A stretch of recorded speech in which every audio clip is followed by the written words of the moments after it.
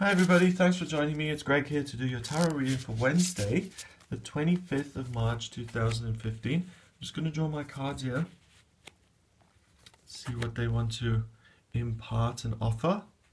And the first thing I'm getting is dance, and I mean I'm getting that because all of these people are really moving expressively, and I'm getting the body. So please make sure to um, Get out and about on this day and to shift any kind of stagnant or stale energy by moving your body.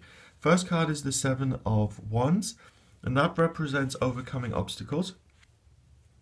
The next card is the Hangman in reverse, and it means that you can uh, overcome obstacles by changing your perspective.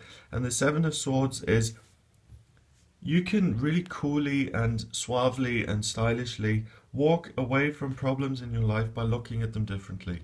You're not trapped by anything. Nothing can touch you. And if you change things around by looking at them differently, you can really move forward and be on your path and ignore the situations that seem to be troubling you. So you can see this guy, he's kind of being threatened a little bit by all these wands coming at him. This lady is walking around and suddenly these swords fall from the sky and hit the ground. Similarly threatening. The answer to the problem is to go within, to find the answers within, to let that light of enlightenment shine, to change the perspective around, and then to move forward without being harmed. It's an inside job today. And the theme has been really strong lately that your external circumstances don't really have anything on you.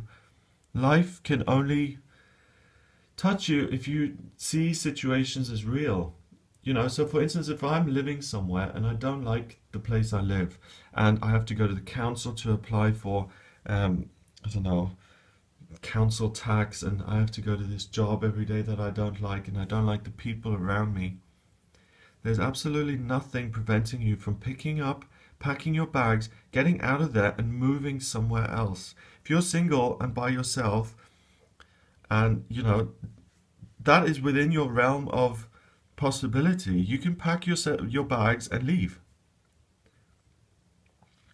And then those circumstances can't touch you because you've decided something within yourself that alters your life completely.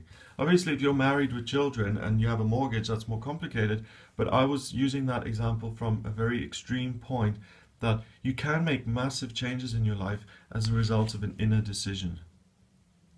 I'm not telling you you need to move countries, but you can think differently about certain things and they can cease to become issues in your life. So that's 12, and 7 is 19, and 7 is 26, 2 and 6 is 8. 8 is power. You have the power to change your life. Don't let your external circumstances dictate to you what you ought to be doing, what you should be doing. No, no, no. What you should be doing is what you want to be doing and what you decide to do. Have a wonderful day. If you'd like a private reading with me, please get in touch via my website, gregoryscott.com. And if you'd like to find me on Facebook, you can um, by visiting facebook.com forward slash Gregory Scott 444. And please remember to subscribe to the channel. Have a great day, and I'll speak to you tomorrow.